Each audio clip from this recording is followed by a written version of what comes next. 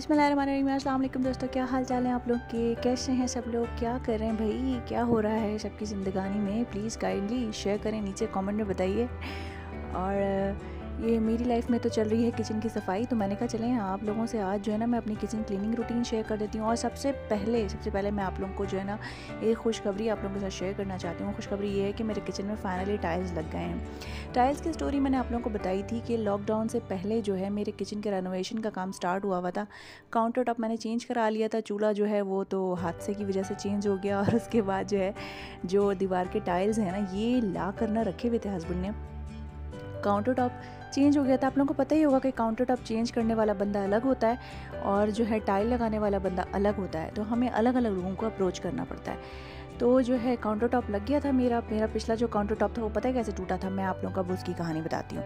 वो टूट गया था। वो टूटा ये था। उस पर ना दो जगह क्रैक पड़ गए थे। वो क्रैक कैसे पड़े थे? मैं भी वो आपको वो भी बताती हूँ। जब मैं इस घर में आई ना इट्स बीन सिक्स ईयर्स तो छः साल हो चुके हैं। मुझे इस घर में साढ़े छः साल ना।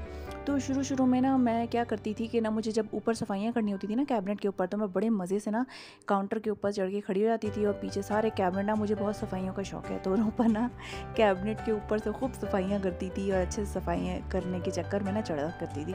तो उस वक्त ना ऐसा कुछ नहीं होता था यार, पता नहीं क्या चक्कर था, लेकिन ना अचानक जो है ना दो साल पहले ना मैं चढ़ी ना तो वो क्रैक आ गया उस पर तब मुझे रियलाइज़ हुआ ना कि मेरा वेट काफ़ी बढ़ गया है। उसके बाद मैंने सही वाली डाइटिंग की थी।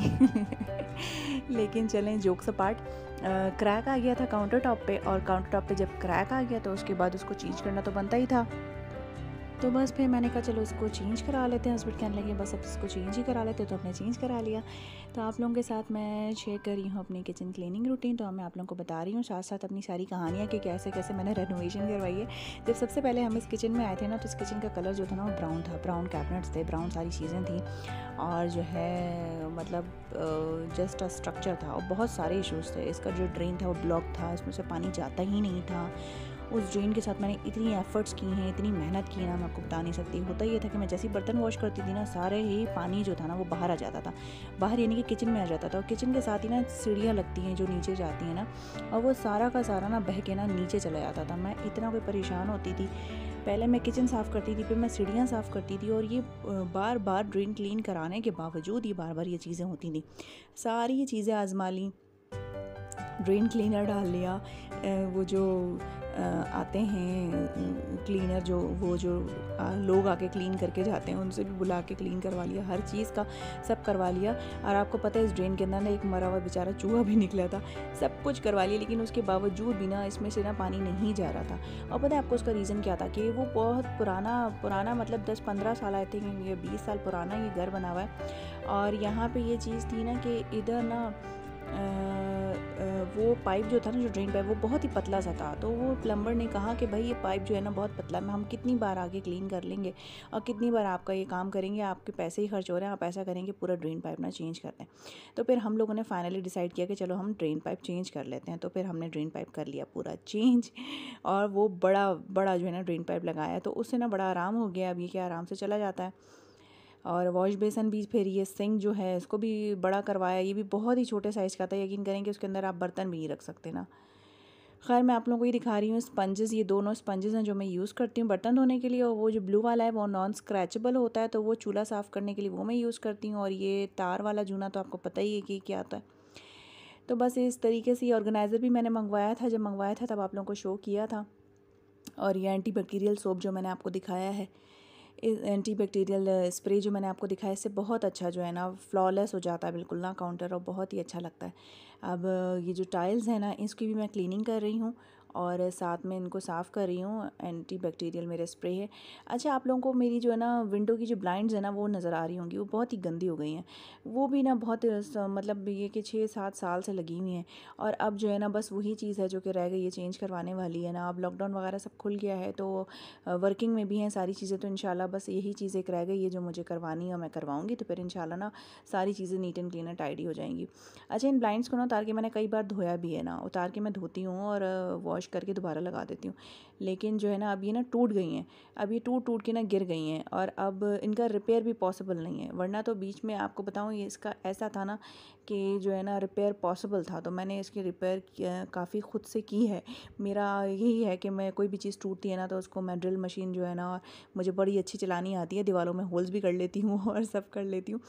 तो ना मैं आराम से ना ड्रिल मशीन से जो है ना ऊपर चढ़ के और सारे कीले वगैरह निकालना, लगाना, सारी चीज़ें कर कर आके इसकी सारी फिक्सिंग कर लेती थी। लेकिन अब ना बिलीव में ये बहुत ही ख़राब हो गई हैं। गिर के ना टूट गई हैं। तो अब जो ऑप्शन बचा ही नहीं है कि इनको जो है ना दोबारा से लगाया जाए। तो फिर फाइनली मैंने डिसाइड किया कि यार, छः साल बहुत टाइम होता है, साढ़े छः साल अब चेंज कर लेती हैं सारी चीज़ें ना। तो फिर जो है ना सारी चीज़ें एक साथ चेंज हो रही हैं। तो अच्छा लगता है ऑब्वियसली न्यू न्यू किचन होता है, सारे मसले, बस मैं आप लोगों से डिस्कस कर रही हूँ कि किस तरह से क्या क्या मसले थे। ये आप लोगों को नज़र आ रहा होगा, ये अचार वाला जो जार है ना, ये मैंने ये यूज़ किया हुआ अपने सारे यूटेंसिल्स रखने के लिए। इसलिए इसमें रख रही हूँ क्योंकि जो है, इसमें स्पेस ज़्यादा होता है और ये हैवी होता है ना, वरना आप किसी भी किस्म की चीज़ के अंदर अपने यूटेंसिल्स रखते हैं ना, वो हर थोड़ी देर बाद ना गिर जाता है।